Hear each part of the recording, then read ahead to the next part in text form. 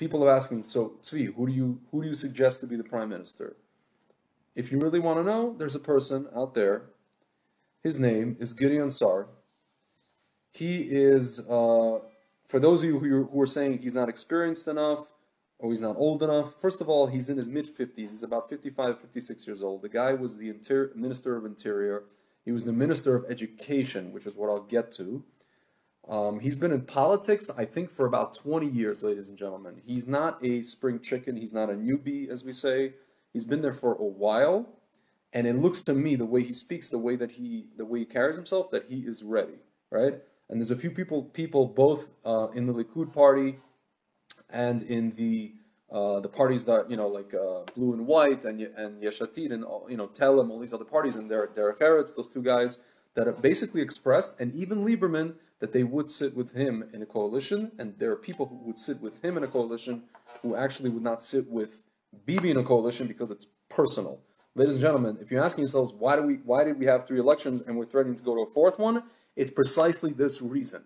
It's got nothing to do with lefties, it has to do with Bibi and the fact that they just don't like him personally. Okay, ladies and gentlemen, that's that's really all this is. So now we have a situation where what I just described to you, where we're basically trying to take uh, you know our our country, our society to something else, something that resembles you know Jewish, right, as opposed to just Israeli and secular Zionism, which is essentially dead.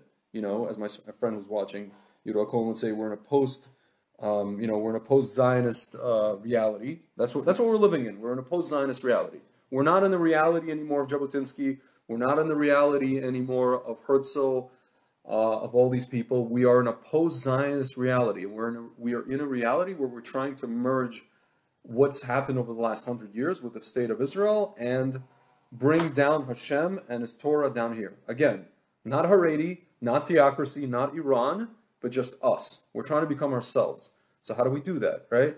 So one thing we can do is say, I don't know, just an idea. Take Israeli school kids, secular kids in Tel Aviv on trips to places like, I don't know, Shiloh, or Har Grizim, or Beit El, or Hebron, right? Instead of like making news reports about Hebron and how like the people who live in Hebron are evil and bad, you know, the Jews, and how it's a war zone and how it's this and how it's that. Ladies and gentlemen, like this is the cradle of our civilization.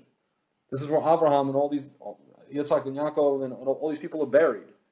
You know, and and and and Leah, Rachel is not buried there. Leah is buried there. I mean, ladies and gentlemen, like, w- w- what's up? You know, again, what are we doing? And if we're not doing that, we're just we're just we're stagnant. We're we we're sitting in neutral as as a uh, as a country, as a society, really, right?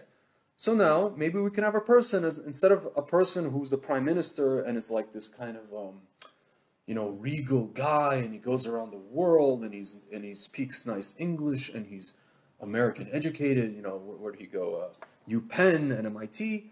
We can just have a guy who knows the education system in Israel, who's both respected by the right wing, by settlers and Tel Aviv people, who comes in and says, okay, let's install little by little, tick tock, as we say in Israel, little by little, programs in secular schools to get people back in, or kids back into the mindset of why are we here in this land? Who are we as a nation? You know, instead of uh, after the army or after high school picking up and going to Berlin, moving to Berlin, and never wanting to come back to Israel again. Ladies and gentlemen, I mean, like, that's not to say that people who love Israel don't leave Israel for different reasons, but like, this is what's happening, ladies and gentlemen. And then people like myself, Americans, you know, crazy Americans are getting up and leaving America and coming to Israel because because because we actually believe in it, and um, you know, we actually have a reason to like spiritual and, and ideological reasons to be here. So that's that's where we're at, and we need a person to come in and basically just, you know, be what's called a steward. S T S T E W A R D, a steward prime minister to to augment, to, to steer the education system in Israel, to steer, you know, to mend the, uh, the, the, the divides in Israeli, within Israeli society. Because again, it seems to me that Bibi in these past 10 years, he's only happy to let the media run amok and, you know, take religious people and run them through the mud. And and then religious people go and then they are like, oh, these guys are Rishoyim, you know, all seculars are Rishoyim, and it's just like this divide. Meanwhile, you see in Israeli society, organically, people are trying to have like some unity, right? Religious and secular. You again, you can walk around Jerusalem, even Tel Aviv. People do interact. People do, um, you know, come in contact with each other. They get along. It's just like the media stirs this up, and it's just like, you know, you see in America where you have a president like Trump, love him or hate him, but the guy, if he doesn't like something the uh, you know that the media is doing, he goes after them and he says, "I really don't like what you're doing. Stop doing that." Right? In his language, right?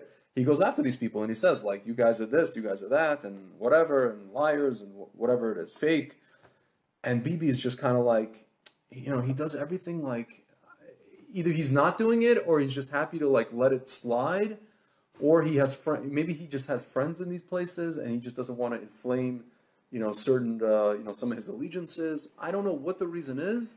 I'm not going to go so far as to call him like Erev Rav or whatever it is but whatever the reason is he's just letting israel as he calls it remain in the status quo right? He's let he's letting us just remain in neutral which is what we've essentially been since 1967